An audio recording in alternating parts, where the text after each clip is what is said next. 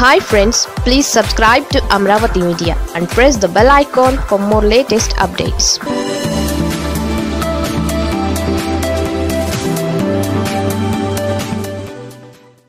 BJP road మ్యాప్పై పవన్కు clarity వచ్చినట్లుందే. జనసేన అధినేత పవన్ కళ్యాణ్ బీజేపీ అధిష్టానం నుంచి రోడ్ మ్యాప్ కోసం ఎదురు చూస్తున్నారు.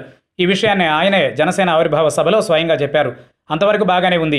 కానీ ఎప్పుడు రోడ్ మ్యాప్పై క్లారిటీ వస్తుందన్న దానికి ఎవరి వద్ద సమాధానం లేదు. ఇటీవల నాలుగు రాష్ట్రాల ఎన్నికలలో గెలిచిన ఉత్సాహం మీద బీజేపీ నాయకత్వం ఉంది. గుజరాత్ అసెంబ్లీ ఎన్నికలకు సిద్ధమవుతోంది. గుజరాత్ ఎన్నికల తరువాత మధ్యప్రదేశ్ ఛత్తీస్గఢ్ రాజస్థాన్ తెలంగాణ ఎన్నికలు ఉన్నాయి. ఈ నాలుగు రాష్ట్రాలు బీజేపీకి ప్రతిష్టాత్మకం. గుజరాత్ మోదీ సొంత రాష్ట్రం కాబట్టి అధికారాన్ని అక్కడ నిలబెట్టుకోవాలి.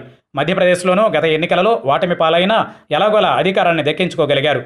ఈసారి రాజస్థాన్ ఛత్తీస్గఢ్లలో గెలిచి తీరాలి. ఇక దక్షిణాది రాష్ట్రాల్లో తెలంగాణలో కొంత స్పేస్ ఉండడంతో ఇక్కడ పట్టు సాధించాల్సి ఉంటుంది. ఇన్ని రాష్ట్రాల ఎన్నికలపైన బీజేపీ అధినాయకత్వం ఫోకస్ పెట్టాల్సి ఉంటుంది.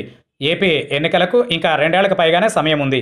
అప్పటి వరకు అధికార పార్టీ మీద పోరాటం చేయాలని ఇప్పటికే పార్టీ అధినాయకత్వం బీజేపీ రాష్ట్ర నాయకత్వానికి రూట్ మ్యాప్ ఇచ్చింది. ఆ మేరకు రాష్ట్ర బీజేపీ వైసీపీ ప్రభుత్వ వైఫల్యాలను ప్రజల్లోకి తీసుకెళ్ళే ప్రయత్నం చేస్తోంది. ఇలాంటి పరిస్థితుల్లో ఇప్పటికిప్పుడు పవన్కు రోడ్ మ్యాప్ అందించే అవకాశం లేదంటున్నారు. ప్రధానంగా పొత్తులపై ఇప్పట్లో స్పష్టత వచ్చే అవకాశం లేదని ఢిల్లీ వర్గాలు చెబుతున్నాయి. రెండు వేల ఇరవై నాలుగు ఎన్నికలకు ఏడాది ముందు మాత్రమే పొత్తులపై కేంద్ర నాయకత్వం క్లారిటీ ఇవ్వనుందని పార్టీ సీనియర్ నేత ఒకరు చెప్పారు. అయితే మరో రెండేళ్ళ పాటు రోడ్ మ్యాప్ కోసం పవన్ కళ్యాణ్ ఎదురు చూస్తారా? లేదంటే తన దారి తాను చూసుకుంటారా అన్నది తేలాల్సి ఉంది. పవన్ కోరుకుంటున్నట్లు రోడ్ మ్యాప్ ఇప్పటికిప్పుడు వచ్చే అవకాశం మాత్రం లేదు. మరి జనసేనని ఏం చేస్తారన్నది చూడాల్సి ఉంది.